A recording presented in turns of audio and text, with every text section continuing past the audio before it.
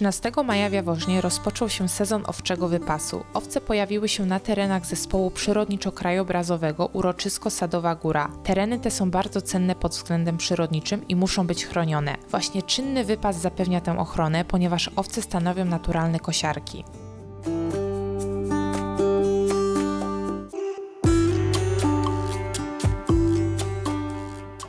Owce pojawiły się na jaworznickich łąkach w ramach projektu Czynna ochrona i odtwarzanie muraw kserotermicznych oraz ciepłolubnych muraw napiaskowych w Jaworznie 2024 rok.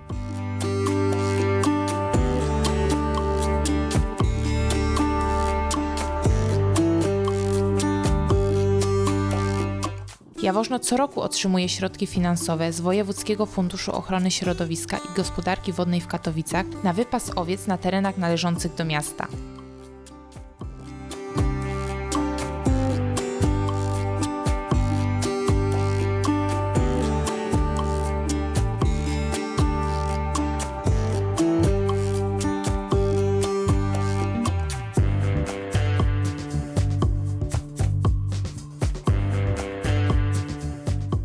Przyszłym tygodniu owce pojawią się również na borach w rejonie Góry Bielany. Tam ich właścicielka pani Katarzyna użytkuje teren od miasta w zamian za wypas tych zwierząt na tamtejszych chronionych terenach.